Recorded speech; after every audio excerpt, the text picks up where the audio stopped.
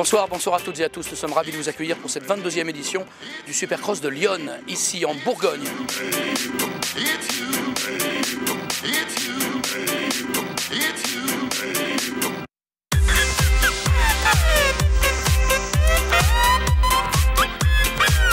Nous sommes à quelques minutes avant le coup d'envoi et nous allons à tout seigneur, tout honneur d'abord donner la parole au tenant du titre. Bonjour Fabien. Bonjour. Vous êtes euh, très régulièrement habitué au podium ici.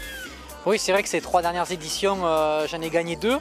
Malheureusement, euh, je fais une année oui, une année non. On va essayer de, changer un peu les statistiques. On a tout pour avoir un grand spectacle. Il y a des très bons pilotes. Tout le, gratin a répondu présent. Pour moi, personnellement, c'est parmi les trois plus beaux supercross en Europe. euh, dans un ensemble spectacle, circuit et tout ce qui s'ensuit. Donc c'est vraiment le, top d'être ici. Alors Cyril, un petit mot tout de suite sur votre état de santé. Vous avez été victime bah, d'incidents physiques assez sérieux, euh, notamment entre ces deux saisons. Et puis là, vous semblez revenir au, meilleur niveau. Mi-saison à l'élite, j'étais bien. Malheureusement, je me suis accroché euh, avec un autre pilote à Villars. Donc en fait, je me suis euh, fait une lésion de la rate. Donc j'ai perdu un peu le rythme quand même au du, du- début du SX. Mais bon, ça va revenir. Ça va revenir. Et puis voilà, puis je me prends pas la tête non plus. Je roule, je me fais plaisir. Et déjà, ça, c'est un, bon point. Nicolas, ça fait plaisir de vous retrouver en France. Et puis je sais que même si vous avez de belles opportunités en termes de carrière de l'autre côté de la Manche, vous aimez de temps à autre retrouver les belles épreuves françaises. On m'a parlé que euh, tous les ans, bon, il y avait une ambiance euh, assez particulière ici, beaucoup de monde, euh, beaucoup de public. et J'étais assez étonné qu'on me dise qu'il y ait tant de spectateurs ici. On est quand même pas loin de, de ce qu'il y a, par exemple, à Bercy, qui est, qui est le plus beau supercross en Europe. Donc c'est génial. Quoi. Briennon est une référence, euh, c'est un supercross international très réputé. Et puis oui, on a eu un, arrosage naturel euh, plus que, que bien aujourd'hui. On arrive aux essais, on est impatient de rouler parce que la piste a l'air super et, et toute refaite. Donc voilà, euh, très impatient d'en découdre sur la piste. On a interrogé les, les vainqueurs précédents et ils vous attendent avec impatience. Voilà, j'ai jamais gagné Brinon. Cette année, euh, je suis vraiment en forme. L'année dernière, j'étais en forme mais je me suis blessé avant Brinon. Donc voilà, une grosse déception de ne pas, pas avoir gagné Supercross encore. Ce soir, ben, je suis prêt et euh, ben, je suis pas là pour faire deuxième. On va tout donner. Vous l'avez compris, à surveiller dans quelques minutes sur la séquence suivante, Cédric Soberas, dossard numéro 120, l'homme fort de cette saison 2013. A tout à l'heure. Comme à son habitude, le Supercross de Briennon est un vrai succès. 10 000 spectateurs sont présents pour assister à pas moins de 10 courses avec les meilleurs pilotes européens de Supercross, tout cela dans une ambiance exceptionnelle. C'est parti d'ici la première là du bruit, j'entends rien. Et du bruit pour la première là de la soirée. Du bruit, du bruit, du bruit, du bruit. Et ce Supercross est devenu une réelle institution et le département de Lyon peut en être très fier. Je voudrais d'abord saluer le public de Brinon qui est venu ce soir en nombre. Alors moi je voudrais vous dire que le département est très honoré du travail qui se développe ici à Brinon depuis des années et des années. C'est invariable et la réussite qui est au rendez-vous est finalement le résultat des efforts qui sont déployés. Le département de Lyon est un petit département rural, c'est 350 000 habitants et nous avons besoin de manifestations comme celle-là. Alors franchement, merci beaucoup pour les sports mécaniques, merci pour ce que vous faites depuis des années ici à Brinon, au terrain des Morillons. Vous êtes connus très loin. Aujourd'hui, votre engagement, votre travail est salué par le public et je souhaite à tous les concurrents, à tous les sponsors, à tous les partenaires, eh bien que cette opération dure longtemps.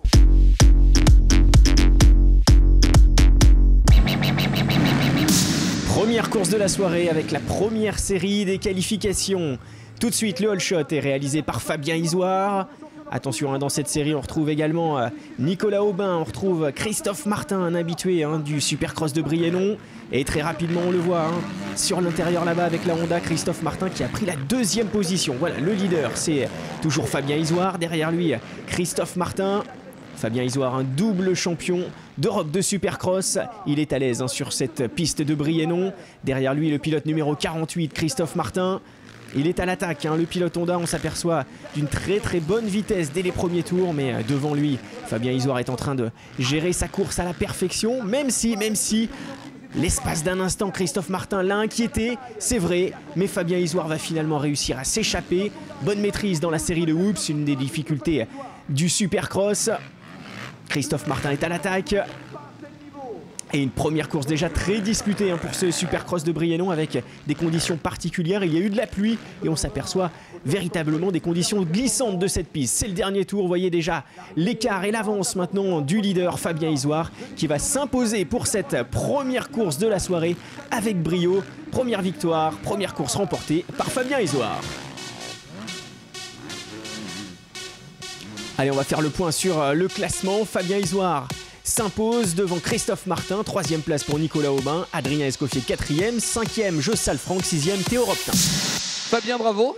Merci. Course euh, pas si aisée qu'on aurait pu le croire. On a vu notamment Christophe Martin très incisif. Oui, c'est vrai, Christophe est un très grand pilote. On a l'habitude de, de se battre ensemble tout le long du championnat. On sait ici qu'il est très rapide aussi. C'est une qui, euh, qu'il apprécie. Ça tombe bien, moi aussi. Donc, euh, ça a commencé avec une belle bagarre ce soir.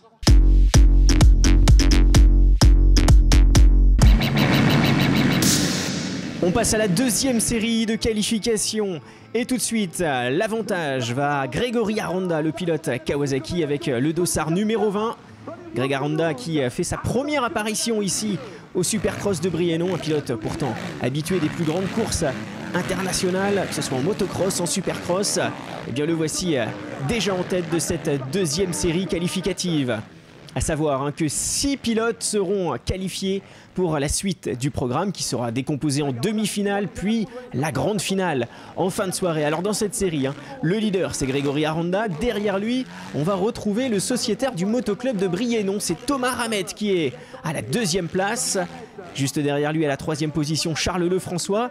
Et déjà, déjà regardez, le leader Greg Aranda qui rattrape Cyril Coulon, Cyril Coulon qui est un pilote retardataire il a eu des petits soucis en début de manche, Cyril, et il est en train de tout faire, Cyril Coulon, pour revenir et aller décrocher une place pour la suite du programme. regardez ce qu'il fait, Cyril. Il s'accroche, il s'accroche à la roue du leader pour euh, se remettre dans le rythme de la course et aller chercher une position. Il lui manque une position à Cyril Coulon pour être qualifié. Devant, il n'a aucun souci, il n'est plus inquiété dans son dernier tour, Grégory Aranda. Il se dirige vers une première victoire pour lui cette soirée, mais regardez ce qu'il se passe derrière. Cyril Coulon va aller chercher cette place qualificative. Il est sur l'extérieur ici Cyril, enchaînement différent, il saute le triple. Et il va, regarder, plonger à l'intérieur ici. L'expérience parle. Cyril Coulon qui prend la sixième et dernière place qualificative. Devant, il n'a aucun souci. Le dossard numéro 20 de Greg Aranda.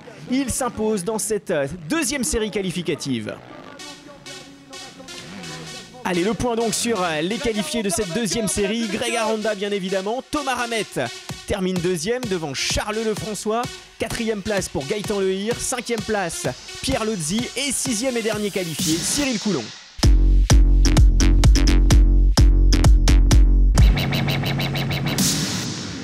Troisième et dernière série qualificative maintenant avec l'excellent départ de Michael Musquin avec la Honda numéro 85. Juste derrière lui, une horde de Honda, justement, avec notamment Loïc Rombaud. Et un petit peu plus loin derrière, à la quatrième place, c'est Cédric Souberas, le leader hein, du championnat de France de Supercross. Il est là, il est à l'attaque. Allez, tout de suite, euh, en tête, il va y avoir pas mal de changements dans cette euh, manche, avec notamment Yannis Hirsuti, ici avec le numéro 170.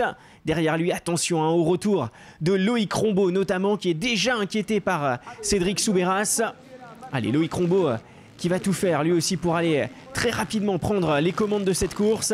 Yanis Hirsuti qui pour l'instant maîtrise son domaine. Et euh, le Supercross de Briennon hein, qui offre une toute nouvelle piste cette saison. 8000 mètres cubes de terre avaient été euh, ramenés pour reconstruire cette piste. Le dépassement ici de Loïc Rombaud. On va revoir cette image au ralenti. Excellent intérieur ici du pilote Honda. Deuxième place donc pour euh, Yannis Hirsuti. Et un petit peu plus loin, attention, voilà, ça y est. Hein. Il est là, il est là, il est présent. Le pilote le plus rapide actuellement en Supercross, c'est Cédric Souberas. Loïc Rombaud est en tête, Cédric Souberas à la deuxième place. On va passer hein, dans les dernières minutes de course maintenant. Et Loïc Rombaud qui a réussi à creuser un léger écart déjà. Mais Cédric Souberas est en train de revenir dans les derniers tours. Il est incroyable. Il est rapide. Et puis l'erreur ici. L'erreur de Loïc Rombaud qui était très bien parti. Il cale dans ce virage. Il laisse le champ libre à Cédric Souberas. Le dernier tour est plutôt tranquille pour le pilote Honda HDI. Cédric Souberas s'impose dans cette troisième série qualificative. Allez, derrière euh, lui, il a réussi à repartir assez rapidement. C'est Loïc Rombaud. On va faire le point sur euh, ce classement. Top 6 qualifié pour euh, la phase suivante. Cédric Souberas, Loïc Rombaud, Matteo Bonini, Michael Musquin, Jocelyn Pécou et Yannis Hirsuti. Et puis le Supercross de Briennon, c'est également du show, du spectacle avec le freestyle qui est présent. Romain Iso, José Melayes était présent et également, vous le verrez, la surprise de l'année, une motoneige pilotée par Justin Stenberg.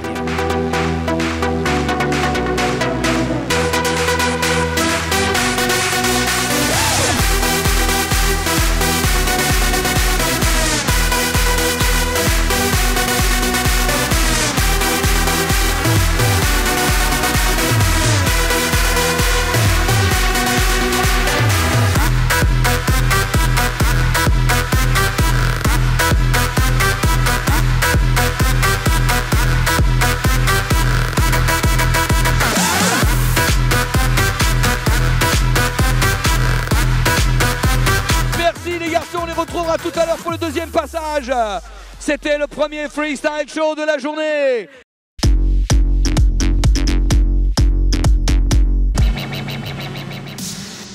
Allez, on part maintenant pour la première manche de la catégorie junior. Les juniors, hein, c'est les pilotes de la catégorie 125 cm3. Ce sont les plus jeunes avec les machines les moins puissantes. Mais on commence comme ça, le Supercross. Et très très rapidement, regardez, c'est le jeune Julien Lebeau qui réalise le meilleur départ, la meilleure envolée avec la KTM numéro 259.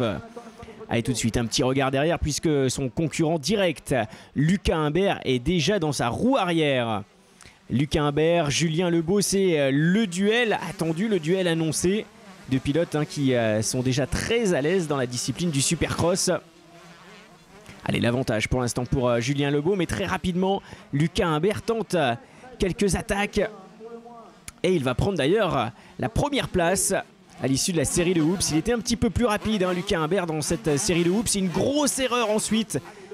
Il va sortir de la piste légèrement et reprendre tout de même le commandement.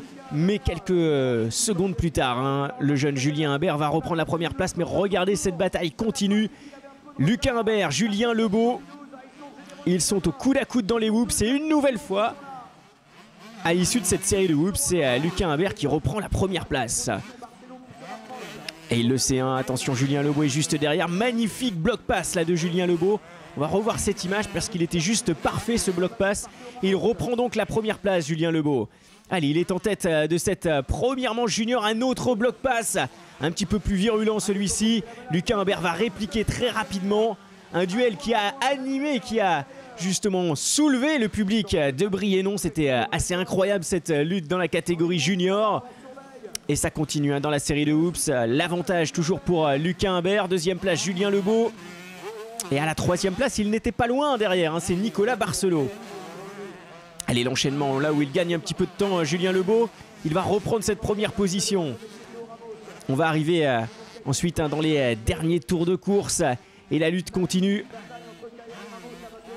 Une superbe bataille en tout cas entre ces deux pilotes. La série de hoops, une nouvelle fois à l'avantage de Lucas Imbert qui reprend encore une fois la première place.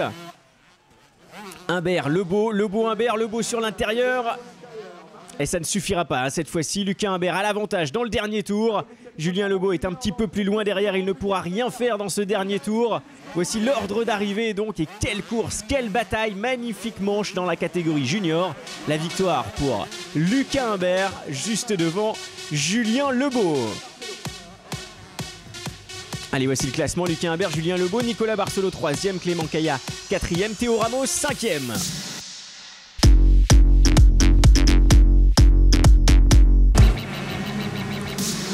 On reprend les mêmes pour une deuxième manche, toujours dans cette catégorie junior. C'est euh, l'heure de la revanche maintenant hein, pour euh, Julien Lebeau qui réalise un superbe départ une nouvelle fois. Les conditions sont différentes, plus difficiles puisqu'il pleut actuellement. On voit hein, le public qui a sorti les parapluies et les pilotes, eux, n'ont pour seule protection leurs lunettes. Alors on y installe des tir-off, des roll-off pour certains. Et c'est vrai que ce sont des conditions hein, vraiment apocalyptiques, des conditions difficiles, encore plus dures. hein. d'aller chercher des dépassements, de tenter des dépassements.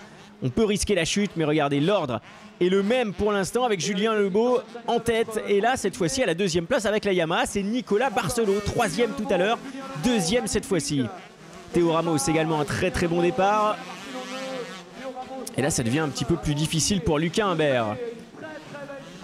Allez, retour avec euh, le leader Julien Lebeau, deuxième place Nicolas Barcelo qui attaque assez à l'aise hein, dans ces conditions. La troisième place c'est Théo Ramos. Et finalement on rentre euh, dans le dernier tour maintenant. Julien Lebeau va réussir à conserver cette première position. Il n'était pas loin mais il devra se contenter de la deuxième place. C'est Nicolas Barcelo qui fait une belle course sous la pluie. Et le podium, on va compléter ce podium avec euh, Théo Ramos, sociétaire du euh, Motoclub de Briennon, à la troisième place. Voici euh, le classement de cette catégorie junior. Julien Lebeau, Nicolas Barcelo, Théo Ramos pour cette deuxième manche. Et au cumul des deux courses, c'est Julien Lebeau qui s'impose devant Lucas Imbert et Nicolas Barcelo.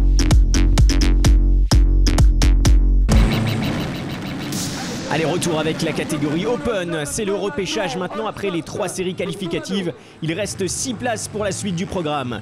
Le meilleur départ réalisé par euh, la Suzuki numéro 773, c'est Tomado qui est en tête. Allez, il fait une euh, superbe envolée. Et c'est très important pour ce genre de course. Une course qui est plus courte. Et c'est euh, l'ultime chance pour ces pilotes d'aller euh, dans la suite du programme. Le dernier tour maintenant. Et voyez l'avance euh, assez considérable de Tomado qui va décrocher son ticket pour les demi-finales. Très belle course. Alors derrière lui, on va retrouver Johan Lafont. Il est un petit peu plus loin derrière. Mais lui aussi sera qualifié. Jérôme Gabette est à la troisième place. Allez, on termine ce repêchage avec le leader. Avec le style, c'est Tomado qui va s'imposer dans ce repêchage. Il décroche donc euh, sa place pour les demi-finales. Allez, le classement rapide de ce repêchage. Tomado s'impose devant Johan Lafont, Jérôme Gabette, Damien Berger, Mika Rémy et Dimitri Rapneau, sixième.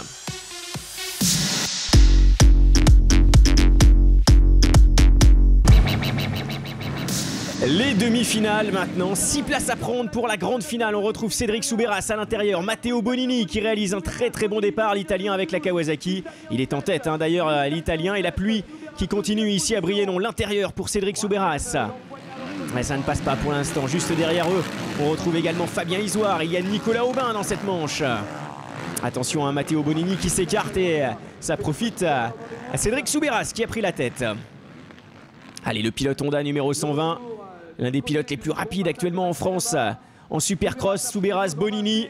Derrière, on a Fabien Isoire, Nicolas Aubin, un top 4 euh, de pilotes très confirmés. À suivre hein, également euh, Thomas Ramet, Joe Salfranck dans cette manche-là, Cyril Coulon. Ah, ça va être très très serré hein, pour aller décrocher sa place en finale. Je vous rappelle qu'ils ne seront que 6-6 directement qualifiés. La chute, l'erreur L'erreur ici de Cédric Souberas qui menait cette course. Et la première place passe maintenant à Matteo Bonini. Regardez cette erreur. Tout seul, Cédric Souberas qui se coince dans l'ornière. Assez étonnant. Et justement, sa machine maintenant qui euh, ne redémarre pas, ça va lui euh, poser un gros gros souci pour la qualification. Heureusement, il aura le last chance, la dernière chance, juste après pour aller en finale. C'est donc un nouveau leader dans cette euh, première demi-finale, c'est Matteo Bonini qui s'est échappé hein, maintenant en tête. Le pilote Kawasaki est assez tranquille dans cette première demi-finale. Un beau coup de théâtre là en tout cas. Derrière, on retrouve Joe Salfranck qui serait pour l'instant euh, l'un des derniers pilotes qualifiés. Ça se bagarre, hein, ça se bagarre énormément dans cette euh, première demi-finale. Matteo Bonini, c'est le leader. Il est assez tranquille en tête. Deuxième, c'est une Suzuki. C'est celle de Fabien Isoire. Allez, il va rejoindre euh, l'arrivée. C'est le dernier virage. La victoire dans cette première demi-finale de Matteo Bonini. Allez, derrière lui, on va retrouver euh, Fabien Isoire, deuxième. La troisième place euh, va revenir à Nicolas Aubin. Quatrième, Gaëtan Lehir. Cinquième, Thomas Ramet. Sixième et qualifié, Jos Salfranck.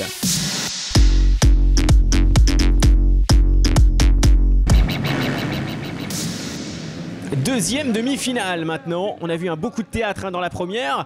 Ça va nous euh, permettre d'avoir une last chance, une dernière chance assez euh, importante et décisive tout à l'heure avec Cédric Soubera. C'est dans cette deuxième demi-finale, on va retrouver Greg Aranda, on va retrouver également Christophe Martin qui sont déjà au coude à coude hein, dès les premiers mètres.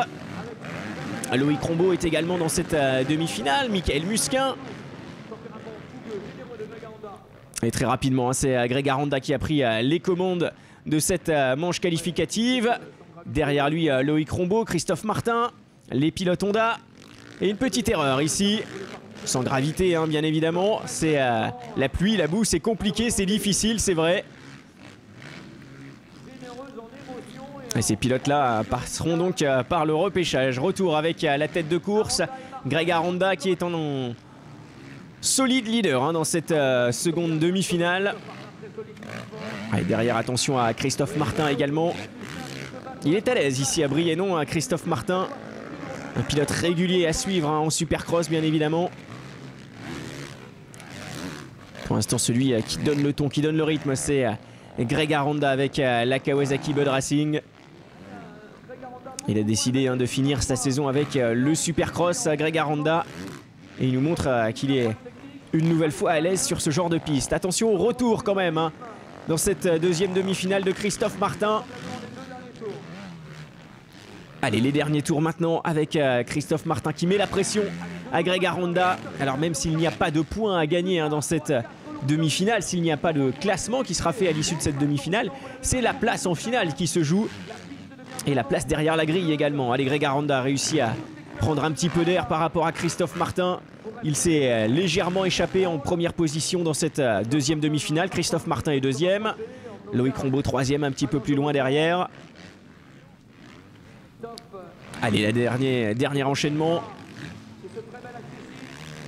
Et la victoire dans cette euh, deuxième demi-finale donc pour le pilote Kawasaki, Grégory Aranda. Il s'impose devant euh, Christophe Martin. Euh, Loïc Rombaud termine à la troisième place. Ils sont six à décrocher leur ticket pour la finale. Michael Musquin, Charles Lefrançois et Adrien Escoffier, sixième. Et le show continue à briller non avec les Pom-Pom Girls, le VTTiste Nicolas Villermo et les Freestylers qui vont braver la pluie. Action Yeah.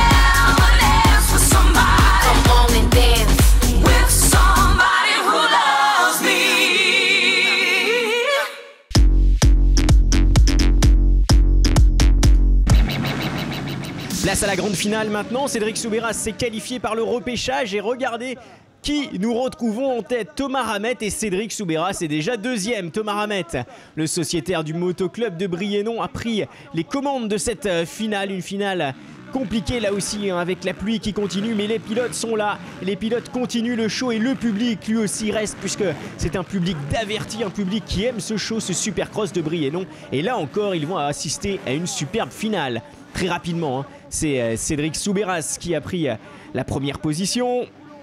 Allez, derrière lui, on va retrouver euh, Christophe Martin qui est bien parti également. On a Thomas Ramette. Allez, Cédric Souberas. Christophe Martin deuxième. Thomas Ramette ensuite.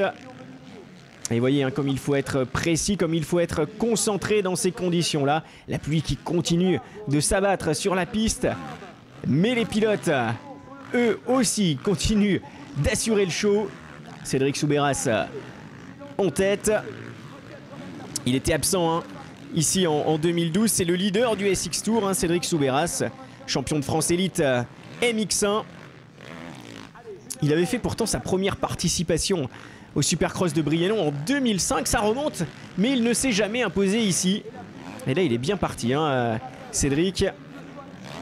Il n'est plus inquiété maintenant par euh, Christophe Martin qui est légèrement euh, derrière. Attention au pilote retardataire.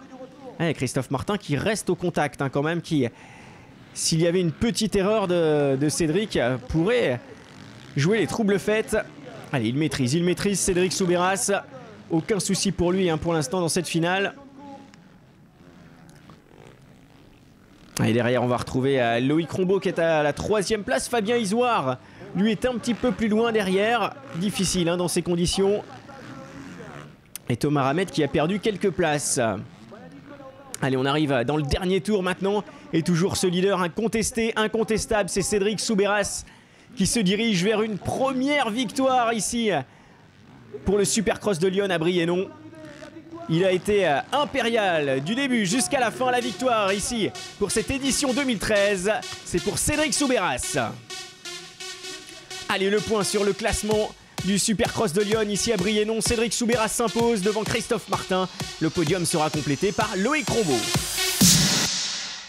Il était le plus rapide, il était le plus fort ce soir. Il s'impose dans l'édition 2013 du Supercross international de Lyon. Cédric Soubiras